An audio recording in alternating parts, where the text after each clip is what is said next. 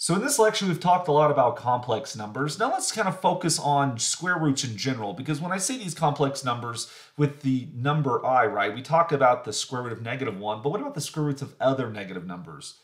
Because, uh, for example, if we have some positive number, capital N right here, uh, how does one take the square root of negative n? Well, there's always two square roots, so let's first talk about the principal square root, uh, for which this, by this, we'll denote the square root of negative n right here. When you take the square root of a negative number, its principal square root, we'll just call this i uh, times the square root of n. Or if you want to, you can put the i in the back.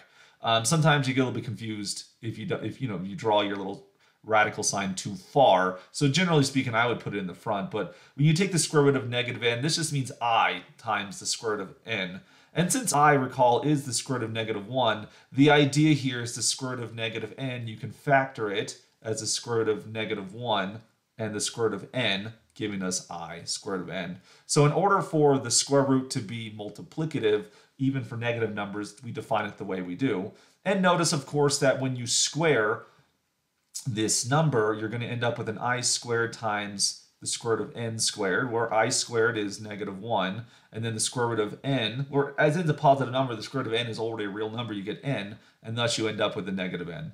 So this number is a square root of negative n. It's the principal square root. Um, there's always two square roots, so you're going to get you're going to get this one right here, but then if you take the negative square root, uh, that's the other one right there. The principal one is what we refer to as the positive one. So as we're trying to calculate these square roots, we get things like the following. What is the square root of negative 1? Well, that would just be i, as we were referring to it earlier. Nothing fancy there. But then if we come down to here like the square root of negative 4, well, this would mean i times the square root of 4, which the square root of 4 is 2. 2 times 2 is 4. And so the square root of negative 4 is what we refer to as 2i. Uh, then if you look at, for example, the square root of negative 8, well, the first thing to do when you take the negative square root is always just pull out an i. And then we have to calculate the square root of 8, which the square root of 8 itself is not a perfect square, but it is 4 times 2.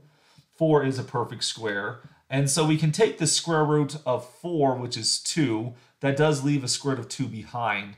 And I would probably write this as 2i times the square root of 2. Uh, and so that's how I like to write these things. I always, if there's any like whole number coefficients or even decimal coefficients, put those in front. If there's an i, then put it between the coefficient and the radical. And then anything else that can't be simplified with the radical without a numerical approximation, you'll leave that inside of the square root. So 2i square root of 2.